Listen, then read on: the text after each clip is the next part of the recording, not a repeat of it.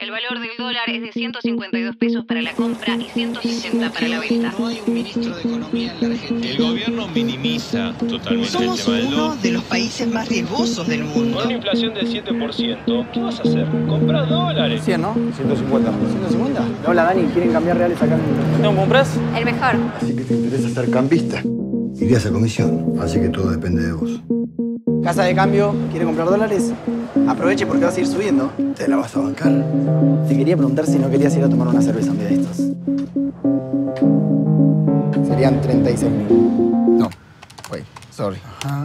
374,000. Está bien, ¿para qué aviso? No, después volvés a cambiar, no, no, no hace falta. No se van a enterar. Nosotros tenemos que hacer la cueva así ganamos plata. No sé, gente jodida. Y no le vamos a hacerle mal a nadie. Quiero llevarla a Flor en taxi a todos lados. La plata se hace trabajando. Yo tengo una parte. Si vos me puedes adelantar algo de plata, Mañana va a haber un quilombo grande. Si vendemos cuando está alto y volvemos a comprar cuando está bajo, nosotros sabemos algo que la gente no sabe. Ahí vamos a hacer una diferencia importante. esa plata nos quedamos nosotros. Ahora, no está vendiendo nadie. Otra vez nos está mirando ese tipo. ¿Cuánto va? Tenemos que apurar. Dale, algo está pasando. Todo pasa por Florida, Pablo. This is not true, I will be back. Vos nos buchoneaste a nosotros.